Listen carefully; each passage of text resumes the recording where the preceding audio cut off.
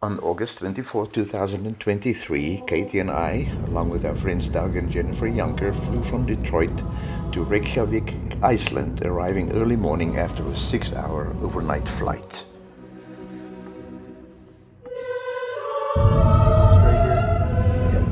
After checking into our Airbnb and a quick rest, we made our way to the Hallgrímskirkja Church, Completed in 1986, the soaring modernistic design resembles the basalt lava flows found in Iceland's natural landscape.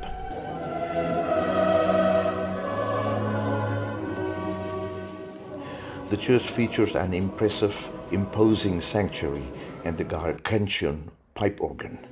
The iconic building is 240 feet high and a visit to the top rewarded us with awe-inspiring views of Reykjavik.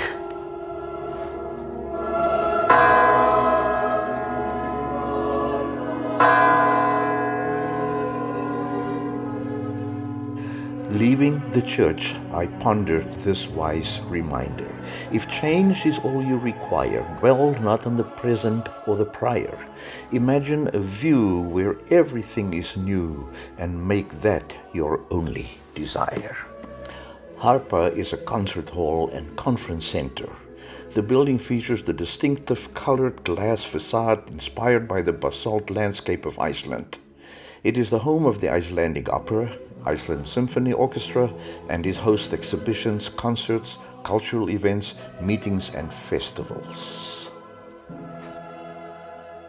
At 3 p.m., we were met by our charming and knowledgeable guide, Bertha Solvik for a sample of six different restaurants.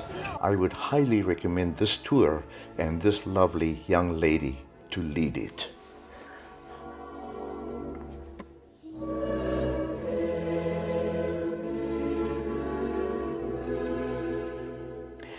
Our last stop for dessert, after which I got to attempt singing the Icelandic national anthem with Solveig the end of a lovely first day.